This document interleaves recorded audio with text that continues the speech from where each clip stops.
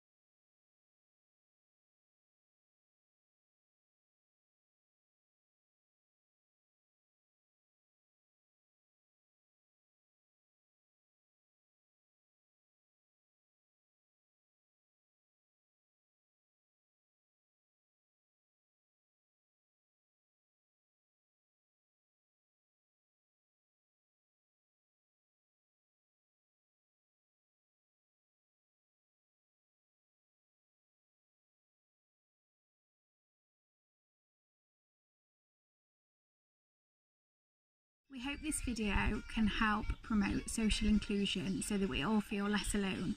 Hearing loss can affect anyone at any time. We can work together to help promote different aspects of the deaf community. Together, we can help raise awareness.